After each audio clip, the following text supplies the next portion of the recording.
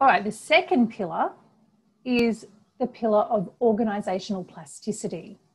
And the toxic fume that we're dealing with here is the toxic fume of the fear of mistakes.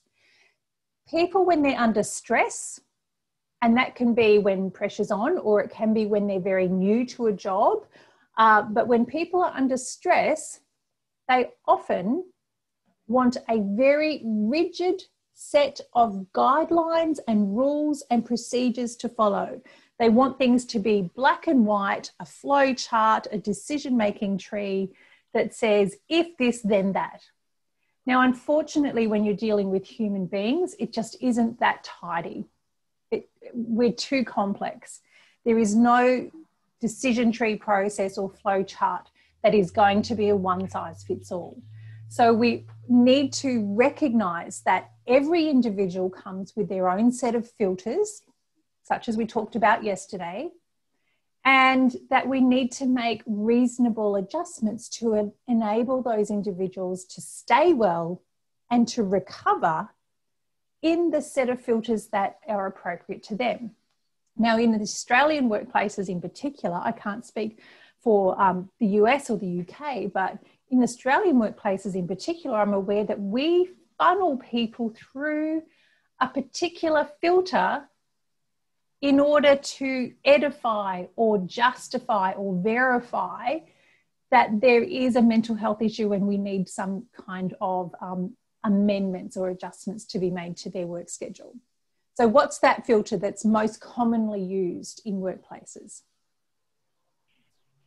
And the filter that we, as a policy perspective, tend to use is generally that medical filter, isn't it? Because we're expecting people to bring us some kind of medical certificate that um, says, yes, uh, I'll verify this person is dealing with anxiety or dealing with something. So we actually have a process in particularly in Australian work societies where we funnel people to one of the particular filters.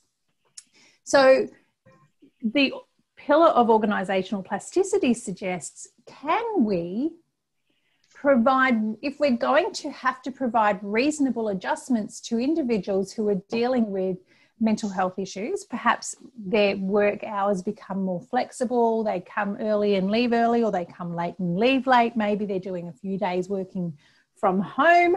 Um, if we can do that for one individual, is that something that we can provide as an option for our entire workforce? Now, in some places, it won't be possible because the work will be something that's done, say, for example, in Brian's team. You physically have to be in the environment to do your job. Um, but in other areas, there can be greater flexibility applied where team members could do those kinds of telecommutes. Now, it's quite interesting that up until this year, when I've said in the past, um, you know, if you can provide reasonable adjustments to um, an impacted member of your team? Is it possible to provide that to all members of your team? And everyone would say, no, no, no, we can't do that. And then COVID came.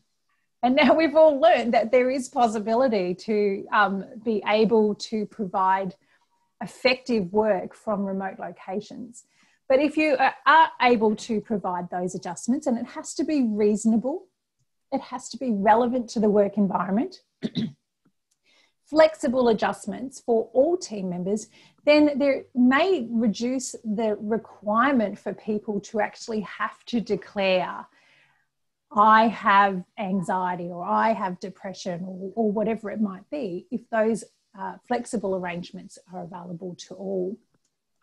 Hi, I'm Emmy Golding, Director of Psychology for the Workplace Mental Health Institute. We hope you liked the video. If you did, make sure to give it the thumbs up. We have more and more videos being released each week, so when you subscribe, you'll get a notification letting you know when a new one's just been published. So make sure to hit that subscribe button and don't miss out on this vital information for yourself, your colleagues, and your loved ones.